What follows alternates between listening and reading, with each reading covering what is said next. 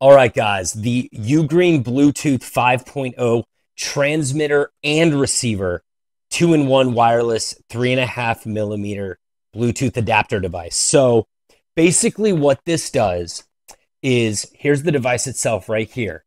It's nice and flexible this way. Basically, what this does is it turns non Bluetooth um, stereos or speakers or things like that into Bluetooth. Um, and all you do is plug this into the headphone port and it effectively makes it makes it a Bluetooth receiver.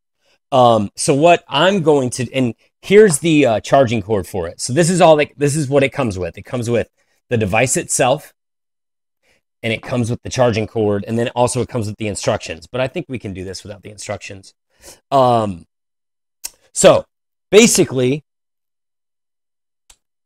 what you do is you turn it on. So we've got that blue light on there. I'm going to plug it into my computer. And I'm going to actually, you know what? I'm going to take that off there. I'm going to show you guys. All right, guys. So I've got it plugged into my computer now, and I have the Bluetooth on my computer shut off. So we're going to use this as the Bluetooth receiver for my computer.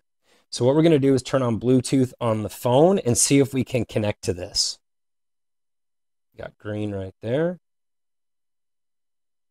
Boom, we're connected. So now, now what we could do is we could play something on our phone and hear it through the uh, computer speakers. Um, so basically, what you could do with with other devices is you could take this, plug it into a speaker that doesn't have Bluetooth, make it a Bluetooth speaker, and then connect your phone to it and be able to play music wirelessly.